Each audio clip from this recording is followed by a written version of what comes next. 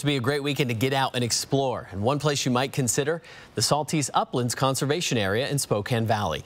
This morning, the county held a ceremonial groundbreaking for a new learning center. When finished, the center will be a place for people to learn about the Saltese Flats wetlands and develop an appreciation for its unique history, geology, ecosystem, and wildlife. The area has more than seven miles of trail winding through the 552 acres. The new center will be named in honor of Doris Morrison, whose family arrived in the area in the late 1800s and ranched the area. The conservation area was once part of the Morrison Ranch. The Learning Center should be ready for visitors next spring. Want to say congratulations to Bud Morrison. Good job.